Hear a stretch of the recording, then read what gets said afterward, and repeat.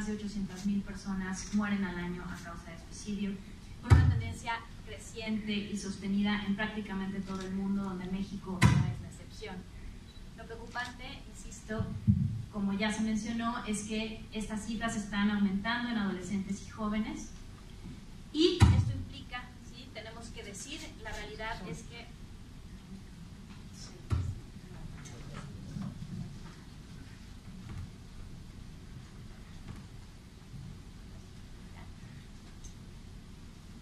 se trata de un problema de salud pública que debe de ser atendido de manera imperativa. Insisto, como ya se comentó anteriormente, el suicidio es un problema donde existen muchas causas, factores biológicos, psicológicos, sociales, culturales, ambientales, pero la mayoría de ellos son prevenibles si conocemos los factores de riesgo más importantes. De esto, de las enfermedades y señales de alerta, tenemos que mencionar tres cosas.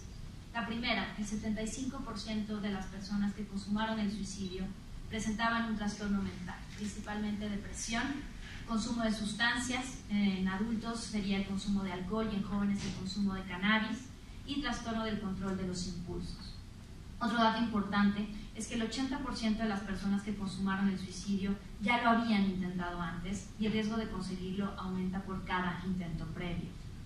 Y finalmente, un alto porcentaje de las personas, hasta un 70%, expresaron fantasías de muerte, ideación suicida o mostraron signos de alarma a familiares e incluso al sistema de salud, es decir, médicos generales y profesionales de la salud mental.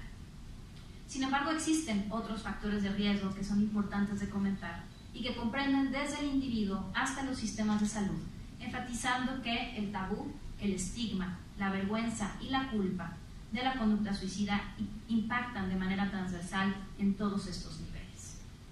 Por ejemplo, en el sistema de salud tenemos que hablar de las barreras que existen para obtener el acceso a la atención en salud mental, es decir, existe una infraestructura deficiente.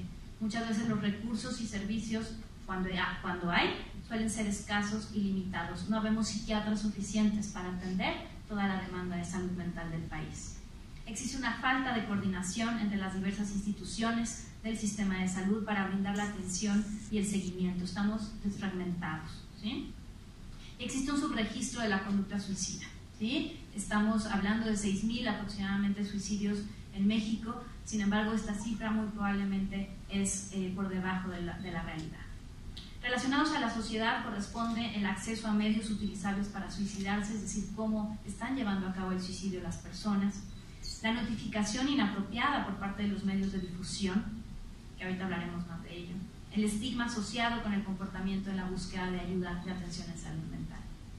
Al respecto de la comunidad, impactan también otros factores como desastres naturales. El año pasado, justamente en estas fechas, vivimos un terremoto que impactó en la salud mental de la población, pero también guerras, conflictos, desplazamientos, migración, el estrés por desplazamiento y aculturación, la discriminación, trauma y abuso. A nivel de las relaciones interpersonales, el sentido de aislamiento y la falta de apoyo social, estamos en una sociedad también ya muy fragmentada. Y los conflictos en las relaciones, disputas o pérdidas. Y finalmente en el individuo, el intento suicida previo, la presencia de trastornos mentales, como ya se mencionó, el consumo de sustancias, la desesperanza y el dolor crónico, como mencionó el doctor Villar, es decir, la comorbilidad con otras enfermedades, también es relevante mencionar. Entonces, una manera sistemática de dar respuesta a este problema de salud pública es a través del establecimiento de una estrategia nacional para la prevención del suicidio, que implica sobre todo atender los factores de riesgo, estos que les acabo de mencionar. Dicha estrategia se basa en varios puntos. El primero, ampliar la cobertura y atención integral de las enfermedades mentales y las adicciones, la depresión y el consumo de alcohol principalmente, en los tres niveles de atención en el segundo lugar, focalizar las campañas de prevención y de educación para la salud mental en grupos vulnerables, especialmente población joven, pero como, mencionó el doctor Mendoza, también en población eh, que está atendiendo la propia salud de la población.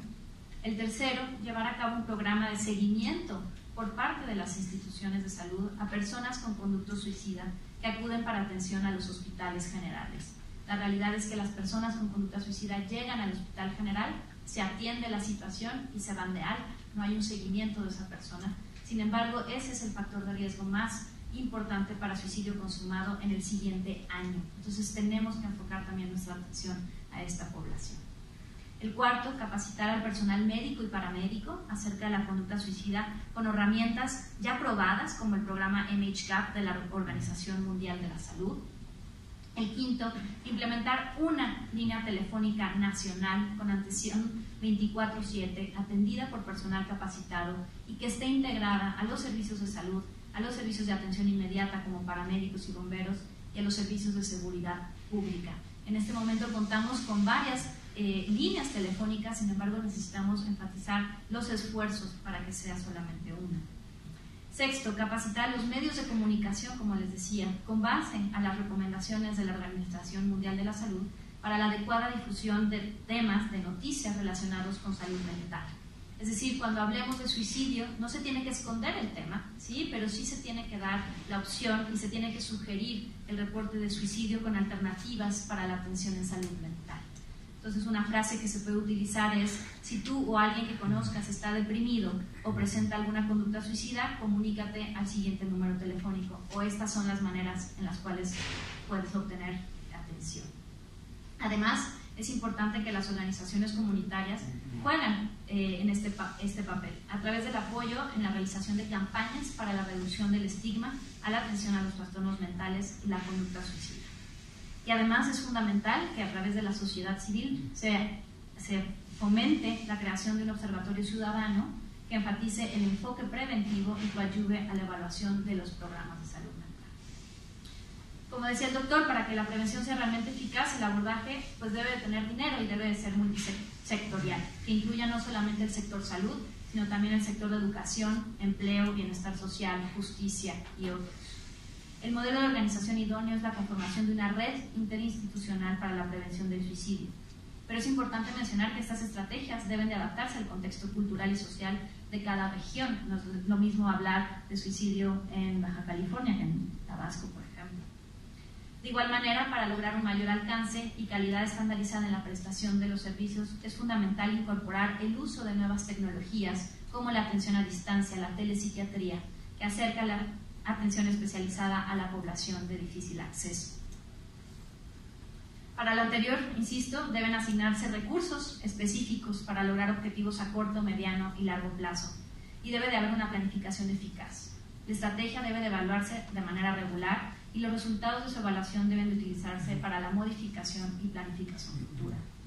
Estos indicadores para medir el progreso de la estrategia son la reducción porcentual de la tasa de suicidio, una disminución en el número de casos hospitalizados por intento de suicidio y el número de intervenciones y la eficacia de los programas de prevención de suicidio ejecutadas con resultados comprobados y palpables. Entonces, por ello, a propósito del Día Mundial para la Prevención del Suicidio, que se conmemora cada 10 de septiembre, enfatizamos el compromiso firmado con la Organización Mundial de la Salud de reducir en un 10% la tasa de suicidios para el año 2020 con esta meta a la vuelta de la esquina y sabiendo que aproximadamente 5.000 de nuestros 6.000 suicidios al año pueden ser prevenibles, es imperativo mejorar nuestros programas, pero sobre todo nuestra coordinación y nuestro trabajo en equipo. Muchas gracias.